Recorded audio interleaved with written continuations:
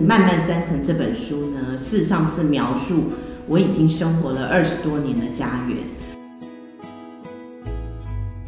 其实，在没有开花之前呢，原来是茶园，还有零星种植的一些柑橘。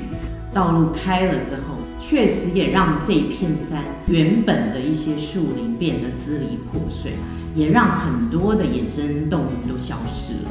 我们虽然人生活在这里。可是自然有它的修复的能力，大概将近四十年的岁月，我亲眼见证这样的一个可能性。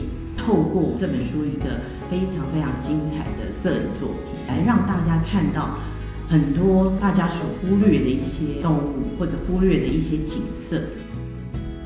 因为我对这个自然环境就很喜欢，空气非常新鲜，根本没有车辆在走，只是一些树林。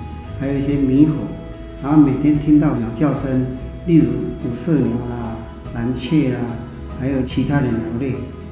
真的，我们人类的家园事实上是可以跟这些动物比邻而居。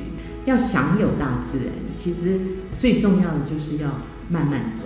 透过慢慢慢慢走，你才有机会好好的欣赏花花草草，好好的认识我们周遭这些树木。